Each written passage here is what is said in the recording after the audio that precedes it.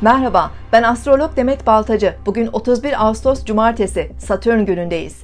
Ay Aslan Burcu'nda ilerliyor bugün. Genel anlamda duygusal olarak özgüvenli, yaratıcı ve dışa dönük enerjiler altındayız. Ay gün genelinde çok önemli açılar yapmayacak ancak boşlukta da değil. Bu nedenle biraz daha bugün keyfimize göre hareket etme eğiliminde olabiliriz. Venüs de terazi burcunda olacak.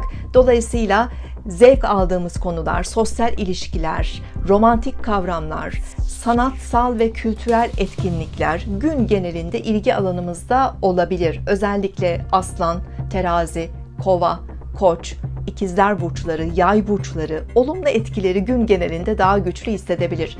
Merkür ileri harekete dönüyor bugün itibariyle. Güç kazanması için biraz zamana ihtiyacı var. Önümüzdeki hafta e, Merkür artık Aslan burcunda ilerleyecek ve son iki haftadır hayatımızda hissettiğimiz engeller, duraklamalar e, artık yavaş yavaş çözülmeye başlayacak. Kontrollerini yaptığımız, hazırlıklarını yaptığımız konularda daha rahat harekete geçebiliriz. Gece saatlerine biraz dikkat edelim. Ay-Uranüs arasındaki kare açı sabit burçlarımızı huzursuz edebilir. Boğa, akrep, aslan ve kovalar özellikle daha sakin kalmakta fayda var.